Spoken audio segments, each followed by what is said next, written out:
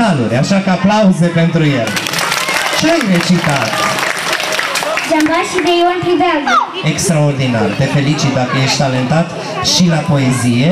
Știi să reciți frumos. E foarte important să știi să rostești versurile foarte bine, pentru că altfel o să le cânti în cântecele tale.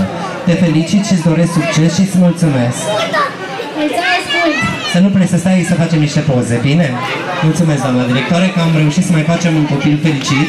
Uh, De altfel, sunt foarte multe festivaluri în țară naționale, festivalul de muzică ușoară, unde proiectul meu oferă premii pentru cel mai talentat copil din festivalul respectiv. Vă felicit la câte ediție sunteți? A șapte. A șaptea ediție. La 10 De ce numai la 10 Pentru că de acolo voi prinde aripi și până.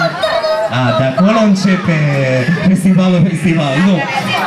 Până atunci e clar că vom ajunge și mai departe. Oricum vă felicit, nu e ușor să faci într-o comună un astfel de festival care deja are șapte ediții. Vă felicit și vă doresc succes și vă mulțumesc pentru invitație și pentru aplauzele dumneavoastră.